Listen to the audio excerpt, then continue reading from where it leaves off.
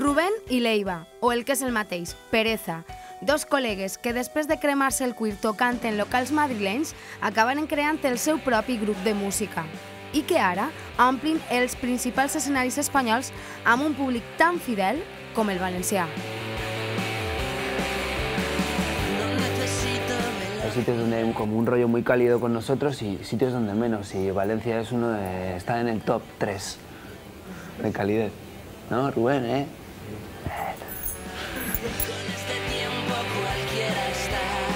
Nuestro éxito radica... mm, no lo sabemos. La verdad es que si lo supiéramos, eh, iríamos más a por ello, pero nosotros solo eh, somos sinceros, hacemos las, las canciones que nos salen de dentro y las grabamos lo mejor que podemos. Se nos ha ido la olla por completo. Nos creíamos que estábamos cuerdos. Ser rockero no es algo que queramos ser y llega un momento en el que, en el que quieres hacer canciones y comunicar y no quieres ser ni tipo duro, ni chulito, ni, ni nada.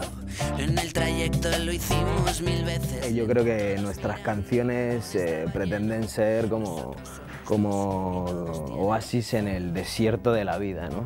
Llevamos años sin hablarnos. sin mirarnos.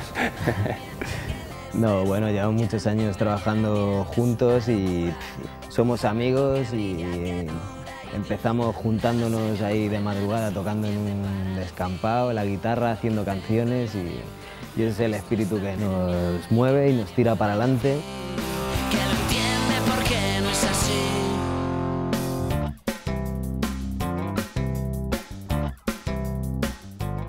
Cuando empiezas no hay, no hay ninguna responsabilidad y nuestro principal objetivo era llamar la atención. Ya que nadie nos conocía, pues tocábamos en un sitio y, y la liábamos. Y, y bueno, pues salíamos borrachos o salíamos de cualquier manera. Pero a día de hoy prima salir al escenario y tocar bien y hacer un espectáculo bueno. Cuando somos pereza nos gusta ver la vida a través de unas gafas de sol. Como dice Martirio, eh, nosotros nos ponemos las gafas de sol para trabajar, ¿no? Luego llegas a tu casa y las dejas y, eres, eh, y llegas a casa.